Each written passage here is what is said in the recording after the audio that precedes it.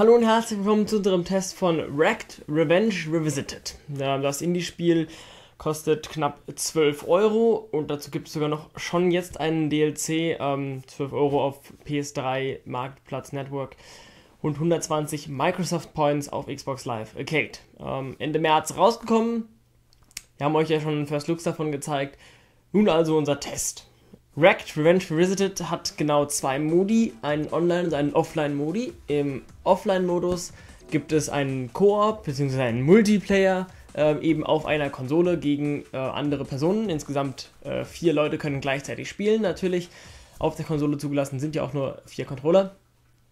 Ähm, es gibt einen Offline-Offline-Modus für eine Person natürlich mit insgesamt 24 Herausforderungen auf sechs unterschiedlichen Strecken. Diese sechs Strecken sind dann auch im Multiplayer wie im Online-Multiplayer verfügbar. Diese Herausforderungen wiederholen sich teilweise, aber eigentlich nicht immer. Es gibt fünf verschiedene, falsch, es gibt vier verschiedene Gattungen nur. Ähm, 4 mal 6 ist 24, wie gesagt, sechs Strecken. Jede Herausforderungsart hat eben einmal auf jeder Strecke eine Herausforderung. Es gibt sowas wie Schnelligkeitsherausforderungen, dass man in einer bestimmten Zeit das Rennen abschließen muss, Waffenherausforderungen, dass man Gegner abschießen muss oder auch Minen legen muss in einer bestimmten Zeit an einem bestimmten Ort. Ähm, ganz normale Rennenherausforderungen. Solche, solche Art an Rennen gibt es. Das Ganze ist ähm, spaßig wir haben also eine quasi Obendrauf-Sicht ähm, mit so kleinen Autos, die so ein bisschen an RC-Autos, ferngesteuerte Autos erinnern. Äh, ich will jetzt nicht Revolt sagen, es wäre ein bisschen ähm, übertrieben gut dargestellt, aber so, so fühlt es sich an. Es fühlt sich an wie so ein ähm, Racer von Radio-Controlled Cars. Ähm, das Einzige, was wirklich einen äh, zieht, ist eben der Herausforderung, Gold zu schaffen, weil das ist nicht unbedingt einfach, gegeben durch die Steuerung, aber auch durch die Schwierigkeit der Gegner. Es ist ein recht ordentlicher Schwierigkeitsgrad, aber wenn man einmal in der Steuerung drin ist, sollte man ohne Probleme Silber und Bronze schaffen, Gold mit ein bisschen Übung, aber auch da, äh, je nachdem, welche Herausforderung man hat, ist es einfacher oder schwieriger. Ähm, es gibt also Herausforderungen, wo man zum Beispiel einen Wohnwagen hinter sich herzieht und deswegen dann völlig anders beschleunigen muss. Ähm, dann gibt es eine Herausforderung, wo man Minen in bestimmte Felder legen muss, wenn man sie nicht reinlegt. Ähm, man hat nur zwei Runden Zeit und wenn man sie nicht reinlegt, dann muss man zurückfahren. Das ist natürlich unterschiedlich. Ich bin zum Beispiel im Wohnwagenrennen besser, ähm, was mich erschreckt, als beim Minenlegen. So ist das nun mal. Und dann äh, gibt es dann auch sowas wie, dass man mit einem Laser oder mit Ge Ge Gewehren Gegner abschießen muss äh, innerhalb von zwei Runden. Das ist auch eine Waffenherausforderung. Ähm, das macht Spaß, das ist wirklich spaßig, teilweise aber sehr fordernd auch.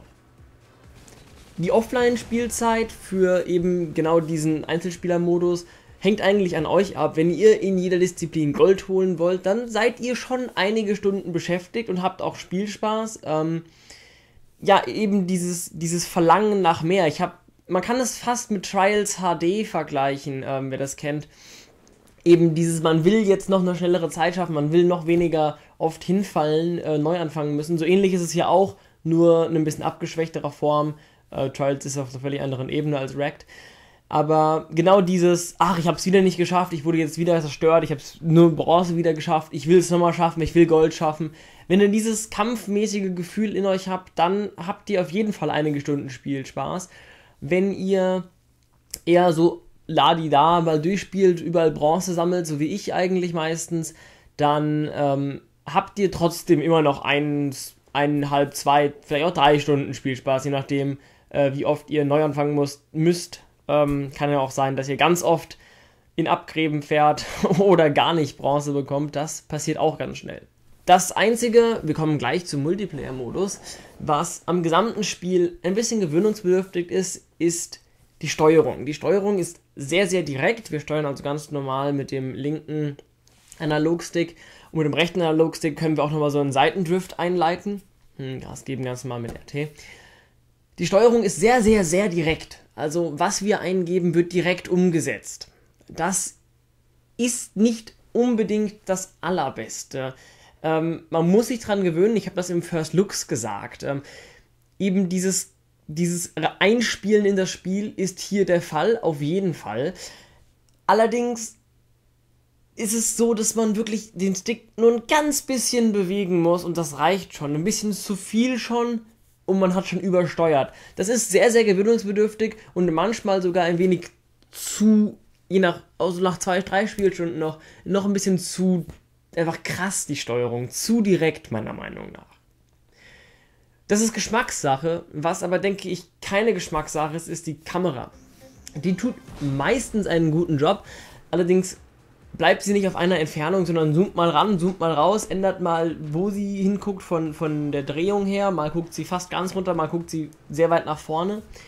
Das ist ein stilistisches Mittel, zum Beispiel, wenn wir durch einen Checkpoint fahren, wo wir einen kleinen Turbo-Bonus bekommen, dann geht sie hinter uns, sodass es nochmal schneller aussieht. Aber das ist unglaublich nervend. Also wenn ihr gerade vor allem Herausforderungen fahrt, eben ähm, wie ihr habt eine Mine auf dem Kopf und dürft nirgendwo anstoßen. Wenn ihr nur ein ganz kleines bisschen irgendwo anstoßt, macht es Boom und ihr fliegt in die Luft. Ähm, wenn da die Kamera auf einmal sich ändert, wo es sogar noch schnell wird, das, das fügt zum, Schwierig zum Schwierigkeitsgrad hinzu und nicht unbedingt zum Spielkomfort. Das stört, das ist hinderlich ähm, es gibt ganz häufig so Stellen, wo die Kamera sich auf einmal dreht und man sagt so, öh, jetzt muss ich mich gerade wieder fangen. Wenn wir Glück haben, ist es nicht immer, ja. Es ist so, so eine Sache, die manchmal auftaucht, nicht immer, aber manchmal. Und wenn sie dann auftaucht, dann bei 90, 80, 90 Prozent eben negativ einwirkt und einen auch das Rennen kosten kann. Ja, wir kommen jetzt zuerst ähm, zum Multiplayer-Modus auf einer Konsole, nicht ähm, zu beiden. Also es gibt auch einen Online-Modus. Der Multiplayer-Modus auf einer Konsole, ähm, ich konnte ihn leider nicht so viel spielen, weil ich momentan ähm, eher alleine hier bin und keiner wirklich mit mir Zeit hatte zu spielen. Das ist ein bisschen schade, ähm, weil das ist so ein Mix aus, also wir haben alle sechs Strecken wieder und dieser ganze Modus, je nachdem welchen wir auswählen, äh, wir können auch unterschiedlich äh, Faktoren einstellen, ähm, ist es so ein Mischmaß aus allen Herausforderungsleveln und das macht Spaß. Ähm, eindeutig ist gezeigt, dass, dass der Schwerpunkt ähm, bei diesem Spiel auf dem Multiplayer und auf dem Online-Modus liegen soll, weil es eben ein Fun-Card-Racer ist.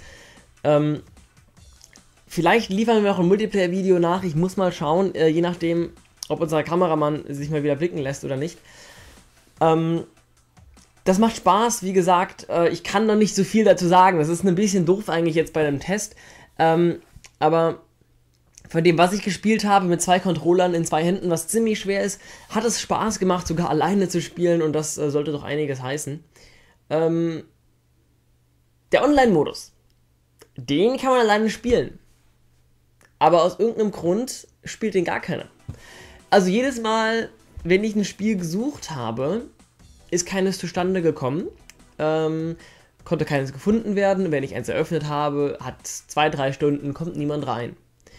Entweder hat niemand dieses Spiel für Xbox 360 oder es liegt am Online-Netzcode, es liegt daran, dass ich kein DLC runtergeladen habe. Es ist auf jeden Fall extrem schade, weil der Online-Modus eben auch genau die Level hat ähm, wie im wie im Offline-Multiplayer-Modus. Ähm, ich hätte es gerne gespielt, aber man kann es nicht spielen, wenn, wenn kein Mitspieler da ist. Bevor wir zum Fazit kommen, also der Hinweis, wenn ihr Wrecked Revenge Revisited schon habt für die Xbox 360 und gerne online spielen wollt und auch keine Spiele findet, ähm, oder mir einfach nur sagen wollt, wie dumm ich bin, dass ich keine Spiele finde, schreibt mir eine Nachricht, schreibt mir eine E-Mail ähm, und dann können wir Ausmachen gerne. Ich spiele sehr, sehr gerne online, das wisst ihr. Ähm, sehr, sehr gerne mit jedem, der fragt online. Mhm. Von daher, vielleicht äh, gibt sich ja was. Ja, zum Fazit, äh, wie der wunderschöne Trainer ja schon sagt. Wrecked ist, ähm, ja, ich würde es beschreiben als nettes, kleines Independent-Spiel es ist extremst schade, dass niemand online spielt. Und für 12 Euro, 1200 Microsoft Points, ist der Offline-Modus, ähm, vorausgesetzt ihr habt Freunde, die mit euch spielen können, spaßig. Auf jeden Fall, das ist ein Spiel, was man mal anmacht, wenn der Freund, die Freundin oder was auch immer da ist, äh, Freunde da sind, man einfach mal reinschmeißt, beziehungsweise auf der Konsole ja schon hat, ist ja keine CD, ist ja downloadbar. Ähm, und einfach mal Spaß hat für, für ein paar Stunden, vielleicht auch ja, Multiplayer-Videos aufnimmt. Mal gucken, ob es sich ergibt, wie gesagt. Ähm, es gibt ein DLC dazu, 400 Microsoft Points. Ich weiß jetzt gar nicht, wie viel es kostet auf, auf PS Network. Das erscheint mir ein bisschen viel. Ähm, aber gut, wer das Spiel mag und spielt, der wird sich dann überlegen, ein DLC zu kaufen für 400 Points. An sich ist es ein nettes Spiel, wenn ihr ganz alleine seid und sagt, ich äh, habe keine Freunde, ich habe keine Kameramänner, die mit mir zusammen Videos machen, dann habt ihr 24 Herausforderungslevel, wo ihr drei Medaillen jeweils bekommen könnt, was durchaus fordernd ist für einige Stunden, ähm, je nachdem wie gut ihr seid, vielleicht auch Tage im negativen Sinne für euch. ähm, da spricht jemand aus Erfahrung. Ähm, ich würde eigentlich eine Kaufempfehlung geben, aber dadurch, dass der Online-Part jetzt nicht funktioniert, beziehungsweise niemand spielt, ist es sehr schwer zu sagen, weil es ist ein nettes Spiel, es gibt Steuerung, sehr sensible Steuerung, eine etwas nervende Kamera ab und an, das sind die einzigen Negativpunkte. Ähm, wenn ihr das Geld habt, 12 Euro und sagt, ja, ich habe 1200 Microsoft Points eh noch rumliegen vom letzten Modern Warfare DLC oder was auch immer, ähm, und ihr braucht ein lustiges, kurzes Renn, kurzweiliges Rennspiel, äh, Arcade-Racer-Spiel, was so ein bisschen an RC-Racing erinnert, dann ähm, ja, kann man sich kaufen. Also ist es nichts, was man bereut, aber die Kaufempfehlung ist auch gedämpft eben durch, durch die drei Aspekte, die jetzt leider negativ einwirken, wovon einer unabsichtlicherweise negativ einwirkt, obwohl eigentlich positiv sein sollte. Das ist ärgerlich, ähm, aber da kann man wohl nichts ändern.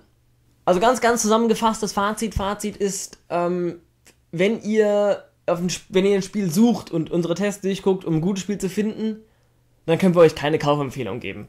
Einfach weil 12 Euro, da kauft man sich lieber einen Worms oder einen Trials oder was auch, was auch immer 12 Euro gerade kostet.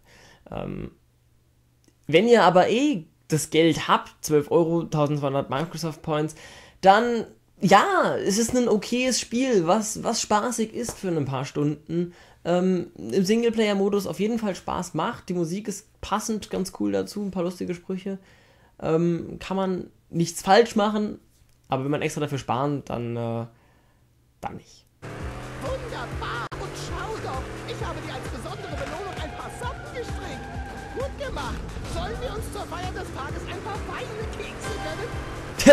ja, also, ich bedanke mich und ich sehe gerade, wir haben 190 YouTube-Abonnenten gerade bekommen. Ähm, vielen, vielen Dank an, an alle, die jetzt bisher abonniert haben, zugeguckt haben.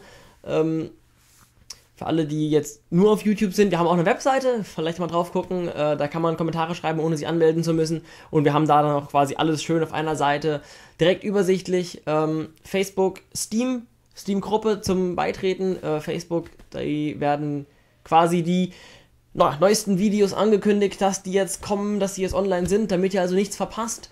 Äh, Steam-Gruppe, falls ihr irgendwelche Spiele habt, äh, mit uns spielen wollt, Steam, äh, mit uns spielen wollt, mit uns Videospiele spielen wollt, dann äh, könnt ihr da gerne uns anschreiben. Ähm, ich bin Kaiser, ich habe noch einen Clan-Tag von meinem Definitive Source Clan dran. Aber ansonsten bedanke ich mich. Vielen, vielen, vielen Dank. Ähm, ihr macht hoffentlich weiter so und dann machen wir auch weiter so. Ähm, auf jeden Fall weiter so, natürlich. Ähm, ich bedanke mich wie immer fürs Zusehen und sage Tschüss, bis zum nächsten Mal. Nein, nein, nein, nein, nein, halt, halt, halt, halt, stopp. Ihr habt wieder was gemerkt? Ich ändere momentan so die Position meines Mikros. Schreibt bitte in die Kommentare. Ähm, letztes Mal hat mir einer bei Steam geschrieben. Schreibt mir bitte in die Kommentare auf YouTube, auf der Webseite, wo auch immer, ähm, oder eine E-Mail auch gerne. Was haltet ihr von der Position des Mikros? Ist der Sound besser eurer Meinung nach? Ähm, ich muss jetzt mal gucken im Schnitt, wie es aussieht. Ähm, wenn, auf jeden Fall eure Meinung. Eure Meinung ist uns sehr, sehr wichtig. Ähm, und dann sehen wir uns, hören wir uns morgen beim Wochentalk hoffentlich. Und in der nächsten Woche dann leider erst den Shogun 2 Fourth Samurai Test. Da bin ich jetzt nicht mehr zugekommen. Tut mir leid. Und jetzt wirklich endgültig. Tschüss.